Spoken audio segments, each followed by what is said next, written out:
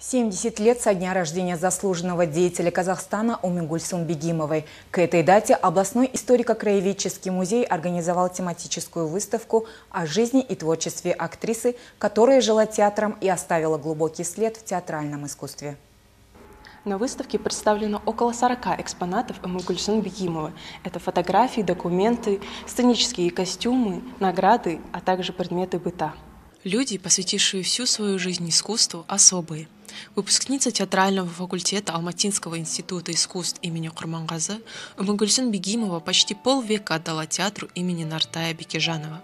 Она была очень требовательна к себе, оттачивала каждую роль. И потому до сих пор в памяти зрителей знаковые ее роли.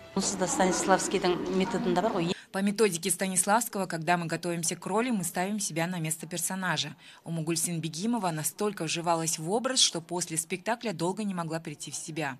Все потому, что она очень близко принимала все к сердцу, все переносила через себя. Поэтому запоминались ее роли.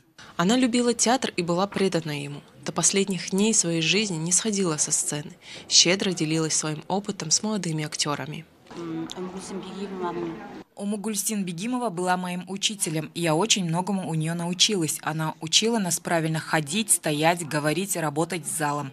Она была человеком с добрым и чистым сердцем. Со стороны она могла казаться многим строгой, но стоило людям немного поговорить с ней, и они сразу меняли свое мнение о ней. Ее талант получил большое признание.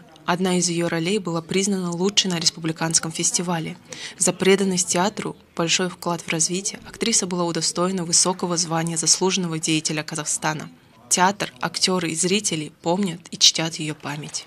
Амина Усенова, Бугимбай Абасилов, Досхан Сатпай, телеканал Козлорда.